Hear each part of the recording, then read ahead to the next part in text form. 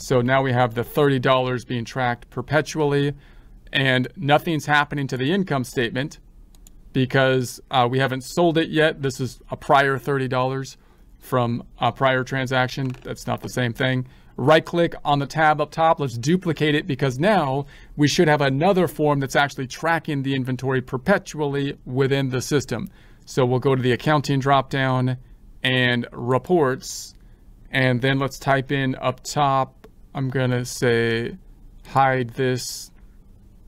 This isn't the report I wanted. This is not the reports you're looking for.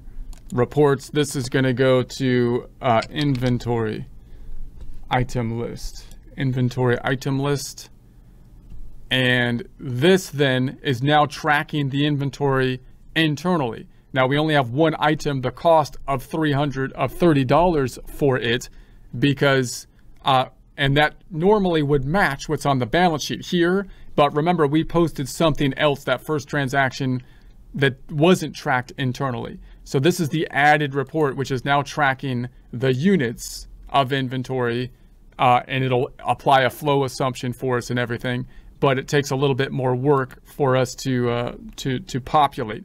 Now, the next thing that would happen in this process, if I go to the first tab, is that we would have revenue that would be generated. Again, normally, if you have revenue gener generated, you would have an invoice form or you would have a, a uh, receive money form. So for example, if I made an invoice form and we had like customer, customer one, generic customer one, uh, then down here, you would have your item that would be sold. Now the item is now matching the, uh, the, the, the, this is the item that is now pulling in from the amount that we populated into the system for, for uh, the items. And it's now pulling in the unit price. So if I recorded an invoice, then what would it do? It would increase accounts receivable, which is a non-accrual account, something that's going to be difficult to deal with with the bank feeds, but we'll talk more about that later. The other side would go to sales of 500 and on a perpetual inventory system, the uh, cost of goods sold would be recorded as well as the the decrease in the inventory. And if you had taxes involved, it would also be applying the taxes over here as well. So uh, you you can also imagine being on a perpetual inventory system. Like I could imagine, I mean, sorry, using the bank feeds. I could imagine going into the bank accounts over here and saying that if I go into my bank account, that that I'm going to see the deposits, and I go into my reconcile. I'm going to see the deposits that are going to clear the the the bank. So let's say this was a let's say this was a a deposit from an, an invoice or a sale of inventory, they do give you the ability to add the inventory item on the sales side here.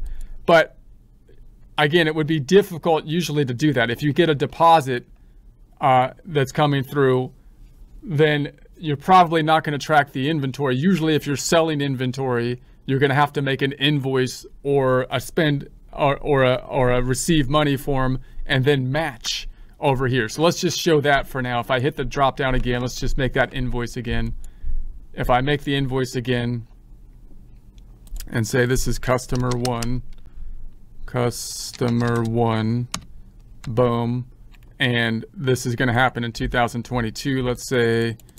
So I'm somewhere in 2022, we'll say April or whatever of 2022. Uh, actually, it's got to be the end of 2022, doesn't it? Because we had it sometime in like December. Okay, and then my item is going to be that inventory item. All right, so let's go ahead and record this. So I'd say approve, uh, invoice field, explain. I need a date here. Due date is going to be, uh, let's say, December 31st. All right, approve. So now we can have some revenue on our income statement. That'll be good. So if I go to my balance sheet and update that, now we're tracking accounts receivable which is which is a non-cash kind of concept. So that that pulls us away from just being able to construct our books on a cash basis. We'll talk about deposits more later. Uh, if I go to the income statement and update it, now we've got the uh, sales, which is recorded at that 500, and the cost of goods sold. Now note cost of goods sold did not change because I didn't turn on the tracking of the inventory. So let me just show you what I mean. I kind of messed it up here. I'm going to go back to the first tab and let's go to our business dropdown. And if you go into your products and services and then go into this item here, uh, I'm going to edit the item. So I turned everything on, but I didn't turn on the track inventory item, which is the perpetual tick mark you have to tick off so that it will track the inventory perpetually. So if you save that, it will not recreate everything retroactively. So if I wanted to do this again, I'd have to go back in here and say, okay, I'm going to go in here and basically uh, delete the transaction of the purchase of the inventory. Uh, and then I'll record it again. So if I so if I go back in and say, all right, this transaction right here,